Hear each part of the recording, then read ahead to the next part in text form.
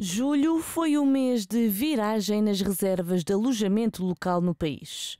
Segundo o Diário de Notícias, os preços do alojamento local baixaram este verão em Portugal. Os proprietários tentam dar a volta à queda na procura dos turistas que têm preferido as promoções para outros destinos da Europa. A pouca procura do início de julho levou os proprietários a baixar os preços para encher as casas e manter os níveis de ocupação.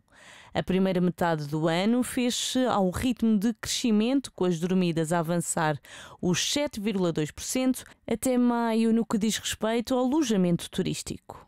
Segundo o Porto, foi a região que sofreu a maior queda na procura, pelo menos é essa a percepção da empresa Guest Ready, que gera cerca de 1.400 unidades.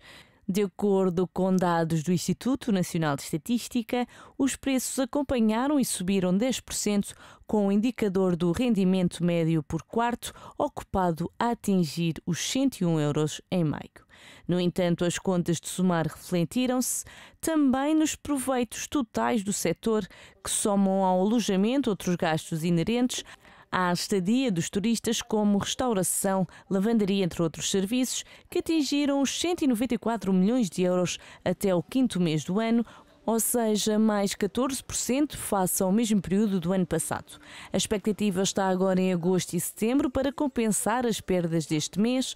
A Associação de Alojamento Local em Portugal acredita que o negócio vai fechar o ano com valores muito próximos de 2023 com ocupação talvez um pouco mais baixa, em alguns destinos cerca de 2% ou 3%, em termos de receita esta pode ser a superior até 4% antecipada.